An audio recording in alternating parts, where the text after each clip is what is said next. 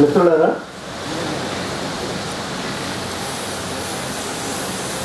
ప్రజా కళాకారులారా? పెద్దలారా?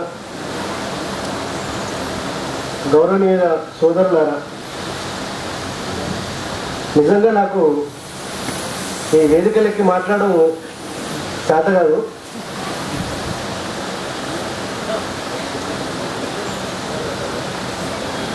ఎనభై మూడు నాటికే పంతొమ్మిది వందల ఎనభై మూడు నాటికే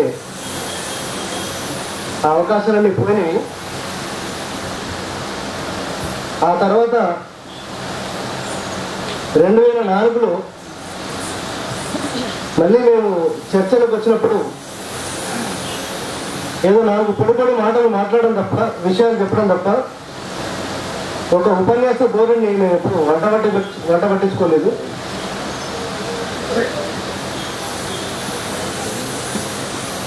ఇంతకుముందు చాలా మంది మిత్రులు చాలా విషయాలు మాట్లాడారు.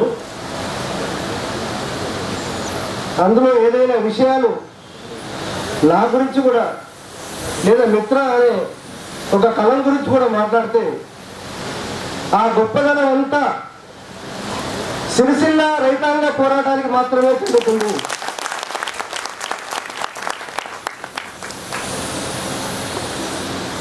ఆ గొప్పదనం ఎంత? వందలాది మంది అమరవీరులకు మాత్రమే చెందుతుంది.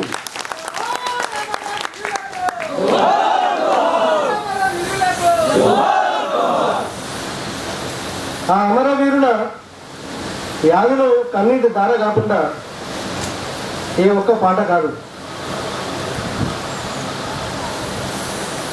ఆ సిరిసిల్ల రైతాంగ పోరాటానికి ప్రతిబింబం కాకుండా ఏ ఒక్క పాట లేదు.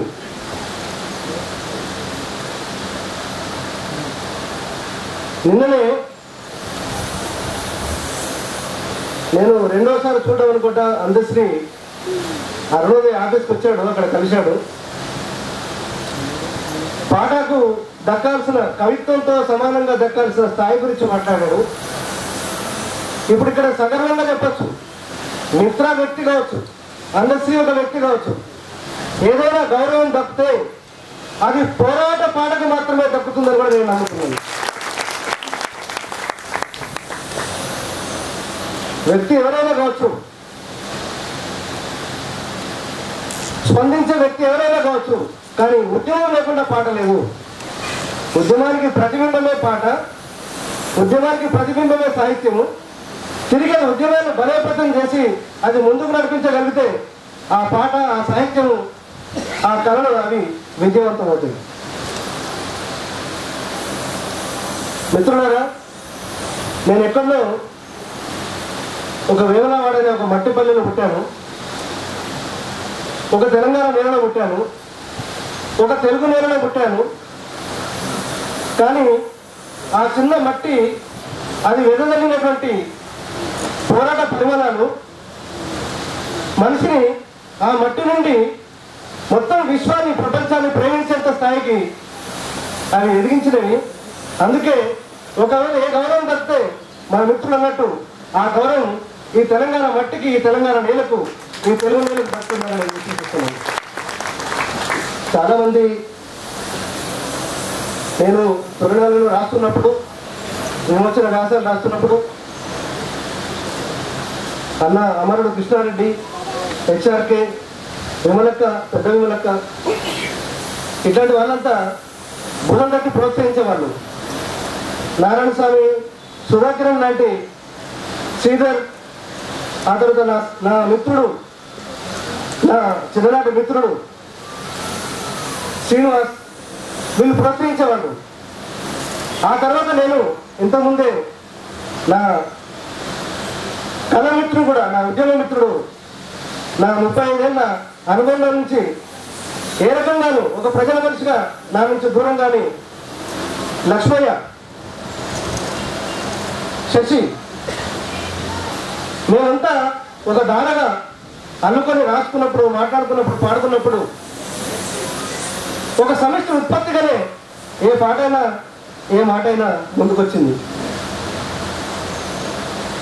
నిజంగా ఒక రియాజును కోల్పోయినప్పుడు ఒక సుభాషణను కోల్పోయినప్పుడు ఒక నూతనను కోల్పోయినప్పుడు ఒక రిక్కల సహదేవులను కోల్పోయినప్పుడు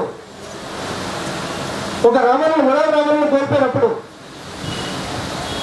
ఒకసారి మొత్తం ఎట్లాగని ప్రకటించి ముందు తీసుకుపోవాలనే ఉద్యోగం దానికోసం ఎంతైతే తన్నాడుతున్నాము ఒక పంట కోసం ఎంతైతే తన్నాడుతున్నాము అంత తన్నాట కూడా ఆ దుఃఖంగా వెలువడకుండా కన్నీలే కాకుండా ఏ ఒక్క పాట రాదు.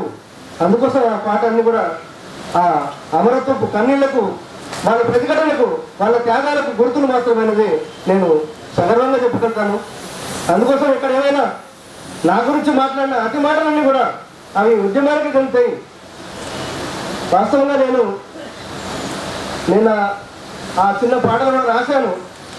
నాకు తెలియదు వాస్తవం నేను ఇక్కడికి వస్తానని కానీ మీ ముందు ఉంటానని కానీ బతికి బట్ట కడుతున్నాను కానీ మాత్రం తెలియదు. నా పాటలు నేను రాసుకున్నాను. మా నాన్న ఎట్లా నేను చూడలేదు. నేను జైల్లో ఉన్నా కానీ మా నాన్న చనిపోయిండు. రాజన్న రాష్ట్ర జీవితంలో ఉన్నాడు. కానీ మా అమ్మ కూడా నేర్చుకున్నాను అనుకున్నాను. అందుకోసం నేను నేను రాసుకున్న విషయం కూడా అదే. నేను కడసార చూడని కొడుకున్నాం కన్నీళ్ళయి కరిగే కొవ్వొత్తులు.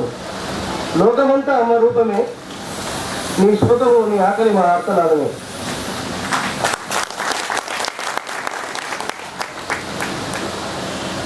ఎంతోమంది సహచరులను పోగొట్టుకొని వాళ్ళు ఇచ్చిన జీవితాన్ని వాళ్ళు ఇచ్చిన తెగలు త్యాగాన్ని అందుకొని నేను కడదాకా ముందుకు సాగడము. మన మిత్రులు కూడా చాలా మంది చెప్పారు ఇక్కడ మీరు నూతన ప్రయాసంగా ఇప్పుడు ఉంటుంది. నువ్వు తెలంగాణ రాజకీయాలకు రా ప్రత్యక్షంగా రా తెలంగాణ ఉద్యమానికి నాయకత్వం వహించు లేదా ఇంకొక రకంగా తెలంగాణ ఉద్యమంలో ఒక కీలకమైన పాత్ర పోషించండి. తప్పకుండా తెలంగాణ తెలంగాణ రావాలి. తెలంగాణతో పాటు ఒక సామాజిక న్యాయం దక్కాలి. ఈ సామాజిక న్యాయం దక్కేటువంటి ఒక విప్లవం ఒక విప్లవం కూడా అది సమన్వయం అందించడం కోసం కూడా రావాలి అందుకోసం అంతిమంగా ఆ విప్లవం దాకా నిలబడగలిగిన వాడే ఒక తెలంగాణ చేయగలుగుతాడు ఒక అసమానత్వాన్ని దూరం చేయగలుగుతాడు ఒక స్త్రీ ముక్తిని సాధించగలుగుతాడు ఒక మత మైనార్టీలకు రక్షణ నిలుస్తాడు గిరిజనుల స్వయం పాలన కోరుతాడు ఆదివాసుల అధికారులు కోరుతాడు చివరికి యుద్ధం చేసి కూడా గెలవడానికి ప్రయత్నం చేస్తాడు ఆ యుద్ధంలో చావడానికి కూడా ప్రయత్నం చేస్తాడు. కాబట్టి ఇవాళ అలాంటి తప్పకుండా అలా చెప్పాడు. నద్దం వెలుగు లేకుండా ఈ ఈ పోరాట కాంతులు లేవు ఈ తెలంగాణ మట్టికి అది తెలియలేదని నద్దం కాంతులు లేవి అట్లాగే తెలంగాణకు సాయుధ పోరాట చరిత్ర ఉన్నది.